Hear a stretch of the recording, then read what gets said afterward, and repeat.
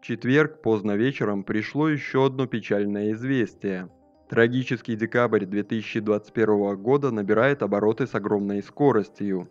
14 января художественный руководитель детского юмористического журнала «Яралаш» Борис Грачевский, ранее госпитализированный с коронавирусом, умер на 72-м году жизни.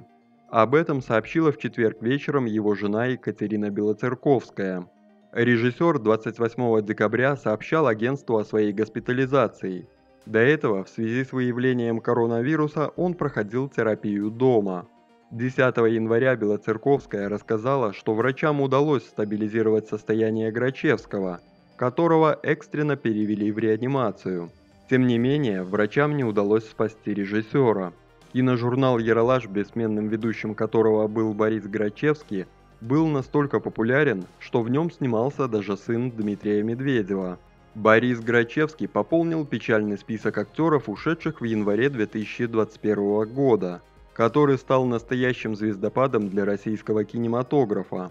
Ранее не стало Владимира Коренева, Валерия Симоновского, Максима Братмакина, Валерия Хлевинского, Дмитрия Гусева, Дениса Карасева – Андрей Малахов, ведущий программы «Прямой эфир», готовит программу, посвященную этому великому человеку. Наш канал приносит свои соболезнования родственникам и близким режиссера –